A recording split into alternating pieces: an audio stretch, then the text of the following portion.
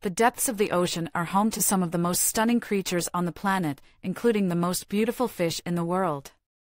Their vibrant colors and intricate patterns gleam in the sunlight, mesmerizing all who are fortunate enough to witness them. From the majestic angelfish with its flowing fins to the graceful seahorse adorned with delicate curls, these marine marvels never fail to captivate. The rainbow hues of the mandarin fish and the striking stripes of the clownfish are just a glimpse of the breathtaking variety of colors and patterns that adorn these aquatic wonders.